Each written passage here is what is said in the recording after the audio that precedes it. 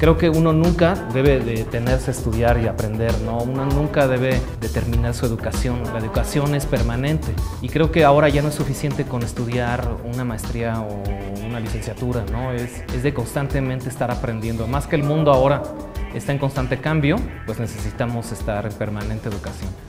Yo constantemente estoy viendo eh, cuestiones artísticas. Los museos son los espacios que más me gustan después de las salas de cine. Pero creo que te enseña mucho, te enseña a saber ver de otra manera. Este bagaje cultural, esta formación humanista, sirve precisamente para fundamentar y para ser mejores personas también. La cultura es una parte fundamental de la existencia de nosotros como artistas, diseñadores, creadores, cineastas. Si no sabemos de eso, ¿qué vamos a contar? ¿Qué cosas vamos a decir? Lo que me gusta mucho del centro es que es una institución que está dedicada a esto, está enfocado a estas áreas creativas y todo el mismo campus es una fuente de conocimiento.